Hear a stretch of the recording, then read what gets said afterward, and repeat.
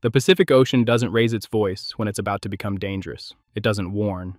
It doesn't hesitate. It simply keeps moving. Along the west coast this week, waves didn't just crash against beaches. They climbed seawalls. They crossed roads. They poured into parking lots and neighborhoods that have rarely, if ever, seen seawater. In Washington state, flooding arrived quietly, but fast. Streets filled. Storm drains failed. Rivers backed up as the ocean pushed inward, and offshore, long before the first road was submerged, the instruments were already flashing a warning. This was never about a single storm, it wasn't a freak wave, it was something far more dangerous stored energy arriving all at once. Right now, the Pacific is delivering long period swells, waves spaced far apart but carrying immense momentum. Each surge arrives with enough force to travel farther inland than most people expect. And when those waves collide with high tides, saturated ground, and already swollen rivers, the result isn't just rough surf. It's flooding that spreads laterally, quietly, and fast. From California to Washington, the coastline isn't being hit once. It's being tested repeatedly, with no recovery time between impacts. Washington's coast is where this threat has become most visible, Communities near river mouths and low-lying shorelines are seeing water push inland from both directions at once. Heavy rainfall swells rivers from the interior, while long-period waves and storm surge block their exit to the sea. The result is a bottleneck effect.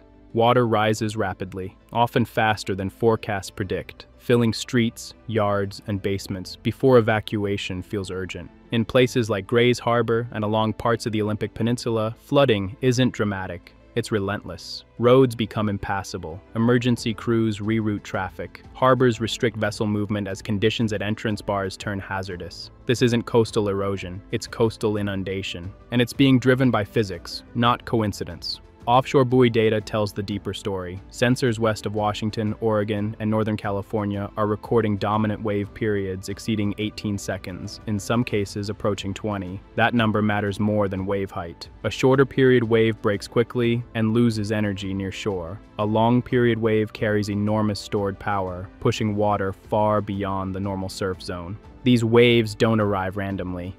They come in organized sets, long pauses, then sudden surges that overtop rocks, walls, and barriers people assumed were safe. This is why experienced beachgoers are getting caught off guard. This is why seawalls are being overtopped. This is why parking lots flood even when the ocean looks deceptively calm moments before. The danger lies in the pause, not the crash. What makes this event especially dangerous is where the energy came from. Days earlier, powerful winter storms tracked across vast stretches of the Pacific. Their winds blew steadily over thousands of miles of open water, a region known as Fetch. The longer and stronger the wind blows across uninterrupted ocean, the more energy it transfers into the sea. That energy doesn't disappear when the storm fades, it organizes. Chaotic surface chop evolves into long distance swell, waves that can travel across entire ocean basins with minimal loss. By the time those swells reach the continental shelf, they are no longer disordered. They arrive as focused pulses, carrying the memory of storms that may now be thousands of miles away. As the seafloor rises near shore, that energy has nowhere to go but upward and forward. Waves slow, steepen, and surge inland. This process, known as run-up, explains why water is reaching places that have stayed dry for decades. It's why seawalls designed for older conditions are being overtopped, and it's why Washington's flooding this week isn't driven by rainfall alone. The ocean is amplifying everything. In river deltas and estuaries, the effect multiplies. Rivers swollen by heavy rain attempt to drain into the sea just as incoming waves and surge push inland. When the ocean wins that battle, water backs up rapidly. Flooding spreads sideways, not just toward the coast, but inland, through neighborhoods far from the beach. Emergency crews across Washington are responding to flooded roads, overwhelmed culverts, and compromised infrastructure. Some communities have been cut off temporarily as water overtakes access routes.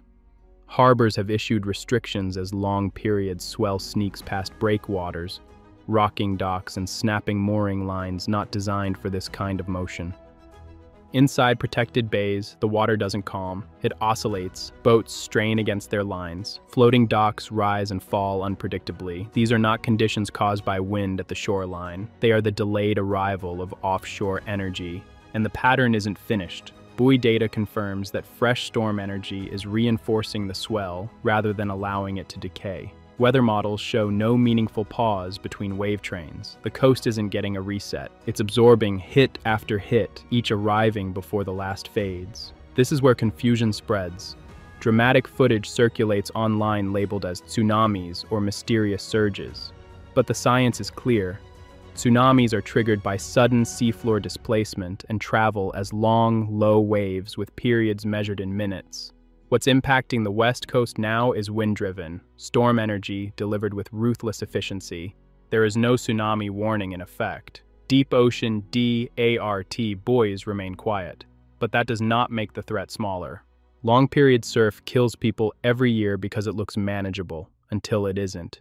Because it travels farther than expected, because it turns familiar coastlines into moving hazards, and because flooding doesn't require an earthquake when the ocean itself is doing the pushing. Washington's geography magnifies this risk. Narrow coastal plains, low elevation towns, and river mouths place communities directly in the path of rising water. As sea levels creep higher over time, the margin for error shrinks. What once required an extreme storm now happens during conditions that feel routine.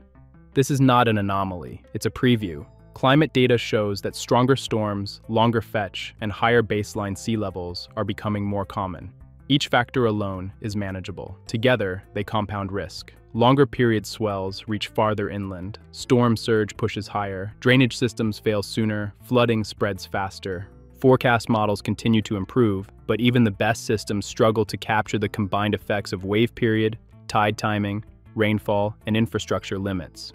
That's why flooding can outpace warnings. That's why people are caught off guard. And that's why curiosity near the shoreline becomes dangerous so quickly. Hmm. Because the ocean doesn't need to break records to cause damage. It only needs to keep coming. Washington's flooding this week is an early signal, not an outlier.